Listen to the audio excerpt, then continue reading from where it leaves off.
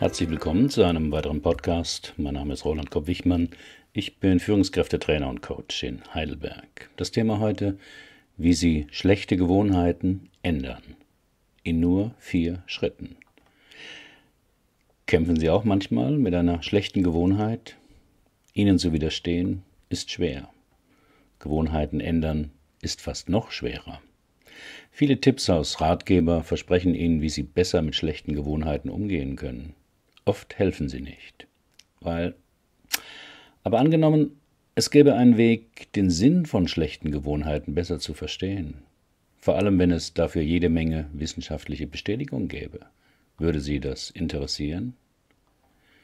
Judson Brewer ist Direktor am Labor des Center for Mindfulness in Medicine, Healthcare and Society at the University of Massachusetts Medical School.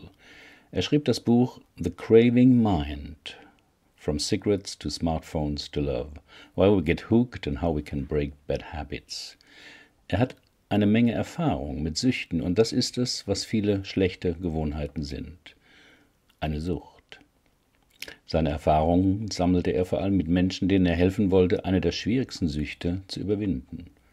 Rauchen. Und sein einziges Werkzeug dabei war Achtsamkeit. Seine Methode war doppelt so erfolgreich wie übliche Rauchers Stoppprogramme wie Freedom from Smoking. Die meisten dieser Programme arbeiten mit dem Ansatz, das Rauchen durch etwas Ungefährliches zu ersetzen. Kaugummi, ein Glas Wasser, ein Spaziergang und so weiter. Doch Achtsamkeit arbeitet anders. Es kappt die Verbindung zwischen dem Verlangen und dem Rauchen.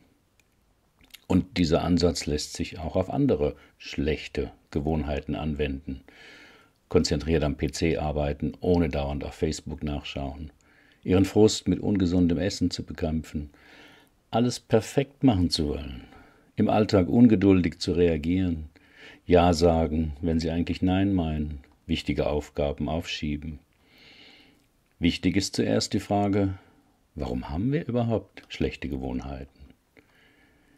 Die Antwort mag Sie vielleicht überraschen. Schlechte Gewohnheiten machen gute Gefühle. Sie fühlen sich gestresst oder ängstlich oder traurig, also sie fühlen sich nicht gut. Und natürlich wollen sie sich besser fühlen. Folglich tun sie etwas, was ihnen in der Vergangenheit geholfen hat, sich besser zu fühlen. Sie essen Schokolade, sie surfen eine Weile im Internet, sie rauchen oder spritzen Heroin. Für ihr Gehirn macht das keinen Unterschied. Wir haben alle unsere Stressauslöserknöpfe und die merken sich über Belohnungsroutinen, wie wir mit dem Leben fertig werden. Das ist das bekannte Modell von Gewohnheiten. Auslöser, Verhalten, Belohnung.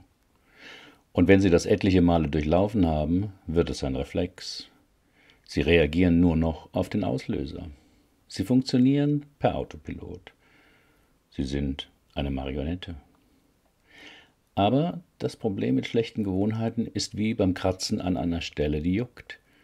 Es juckt für einen Moment nicht mehr, aber sie lösen damit nicht das zugrunde liegende Problem, sondern müssen nach einer Weile wieder kratzen. Wenn Sie Geldsorgen haben, können Sie sich davon ablenken, wenn Sie auf Facebook surfen, aber Ihren Geldmangel behebt es nicht. Heißt konkret, Schlechte Gewohnheiten lösen nicht ihre Probleme, sie fühlen sich nur kurzfristig besser und haben je nach Gewohnheit nach einiger Zeit noch ein zweites Problem, ihre Sucht. Vielleicht wundern Sie sich, warum ich hier als Beispiel immer wieder Facebook bringe. Der Grund ist einfach.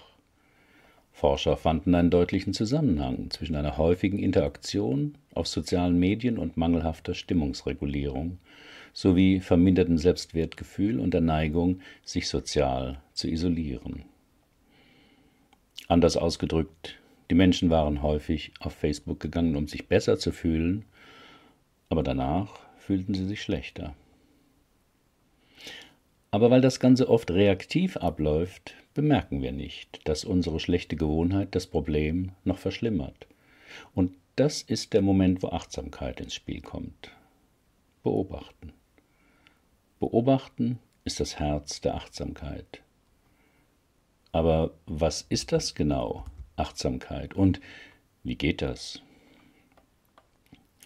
Beobachten, nicht werten. Wenn Sie gestresst sind und einer schlechten Gewohnheit frönen, kriegen Sie das nicht wirklich mit. Und wenn Sie sich dabei beobachten, sind Sie vermutlich frustriert. Frustriert, dass Sie sich so fühlen. Und frustriert darüber, dass Sie gerade das tun, von dem Sie wissen, dass es nicht gut für Sie ist.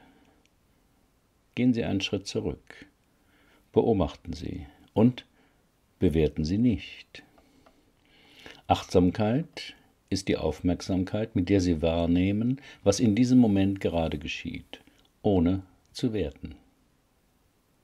Diese Fähigkeit können Sie lernen oder vertiefen, aufmerksam etwas wahrzunehmen, ohne zu reagieren.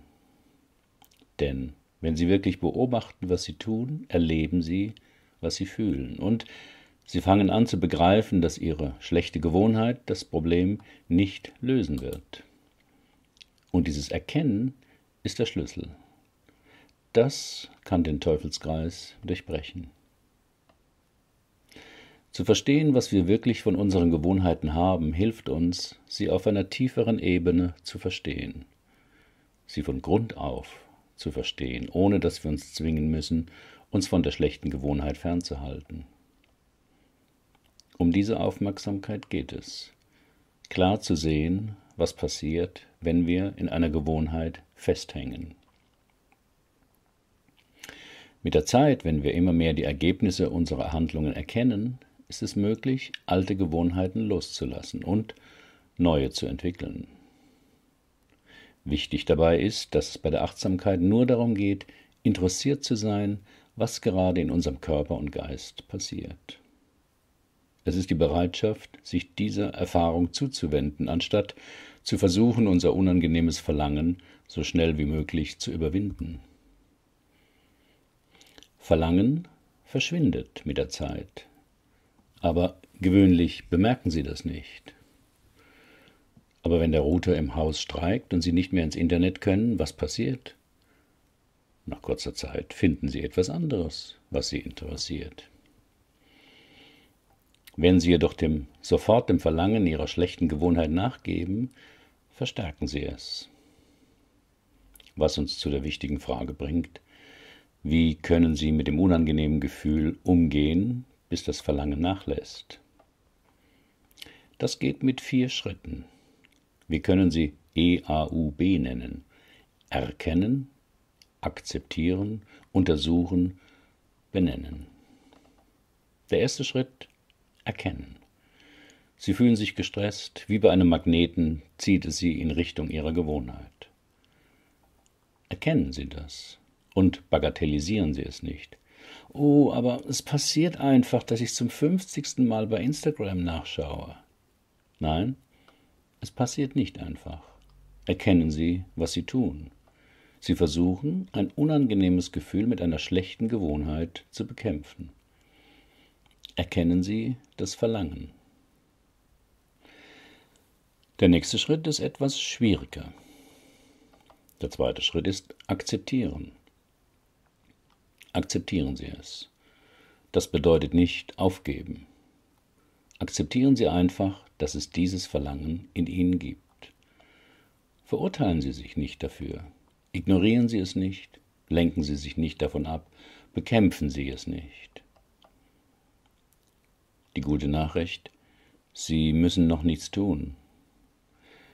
Die schlechte Nachricht, es ist hart, nichts zu tun, wenn Sie sich unwohl fühlen, Sie sich kratzen wollen, weil es juckt.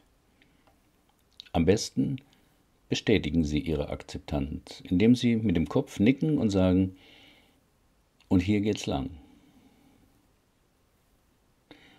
Und jetzt wird es interessant. Im dritten Schritt geht es um untersuchen. Normalerweise versuchen Sie, Ihre schlechte Gewohnheit loszuwerden. Mit Achtsamkeit tun Sie genau das Gegenteil. Werden Sie neugierig. Gehen Sie auf Ihre schlechte Gewohnheit zu. Wenn das Verlangen wächst, nehmen Sie Ihre Gefühle wahr. Ganz genau. Untersuchen Sie, wie das Verlangen wächst. Fragen Sie sich, was genau fühle ich gerade in meinem Körper? Suchen Sie nicht lange herum. Achten Sie auf das, was auftaucht. Der Schlüssel hier heißt Desidentifikation. Erinnern Sie sich, Sie sind nicht Ihre Gedanken. Sie haben Gedanken. Ihr Gehirn schickt Ihnen alles mögliche Gedanken zu, Zeugs. Das bedeutet nichts. Das sind nicht Sie. Wenn Sie Ihren Arm gebrochen haben, sagen Sie, mein Arm ist gebrochen. Sie sagen nicht, ich bin gebrochen. Sie brauchen Ihre Gedanken nicht zu glauben. Es sind nur Gedanken.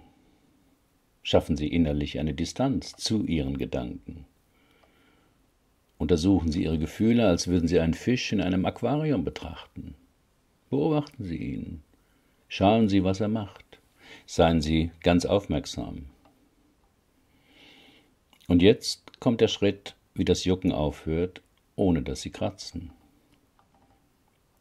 Der vierte Schritt. Benennen.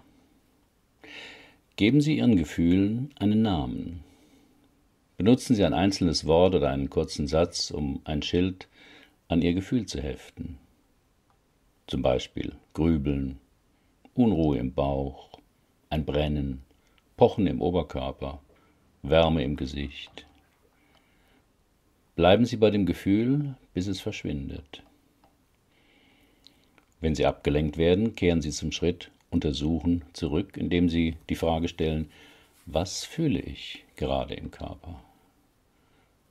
Bleiben Sie dabei, bis das Gefühl verschwindet. Klingt seltsam, nicht wahr? Ist aber enorm kraftvoll. Sie nutzen damit neueste Erkenntnisse der Neurowissenschaften.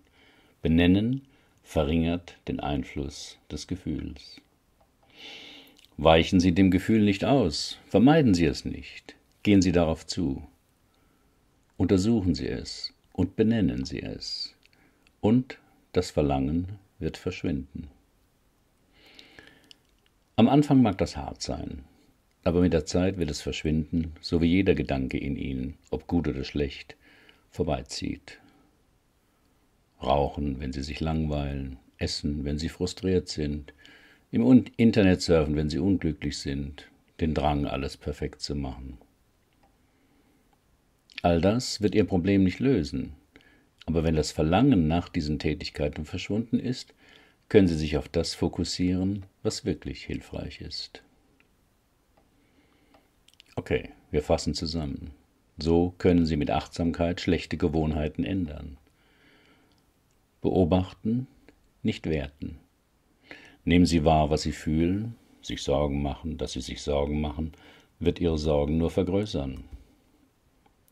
Erkennen, wenn Sie nicht wissen, was in Ihnen genau vorgeht, können Sie nicht damit umgehen. Der dritte Schritt, akzeptieren. Vermeiden hilft nicht, akzeptieren Sie das, was da ist. Es mag schwer sein, aber es ist möglich. Untersuchen. Sie sind nicht ihre Gedanken oder ihre Gefühle. Sie sind der Beobachter, der stumme Zeuge. Und benennen. Wenn Sie dem Gefühl einen Namen geben, beruhigt sich Ihr Gehirn. Das alles führt zu einer simplen Zwei-Schritt-Formel für ein gutes, achtsames Leben. Sie fühlen sich gut, nehmen Sie es einfach wahr. Sie fühlen sich schlecht, Nehmen Sie es einfach wahr. Wenn Sie sich gut fühlen und dies wahrnehmen, das nennt man genießen. In diesem Moment wertschätzen Sie die guten Momente, anstatt sie für selbstverständlich zu halten. Wenn Sie sich schlecht fühlen und dies wahrnehmen, dann erliegen Sie nicht Ihren schlechten Gewohnheiten, sondern können erkennen, woher das Gefühl kommt. Sie können etwas über sich selbst lernen und dann etwas finden, das das Problem beheben wird. Die meisten Menschen können gute Gefühle ganz gut genießen, aber von den schlechten Gefühlen können sie eine Menge lernen. Lenken Sie sich nicht davon ab oder bleiben Sie in schlechten Gewohnheiten hängen, um sie zu vermeiden. Das Leben ist Überfluss und kann Sie eine Menge lehren. Ignorieren Sie nicht die Hälfte davon. Welche schlechte Gewohnheit würden Sie gerne ändern? Herzlichen Dank für Ihre Aufmerksamkeit Bis zum nächsten Mal.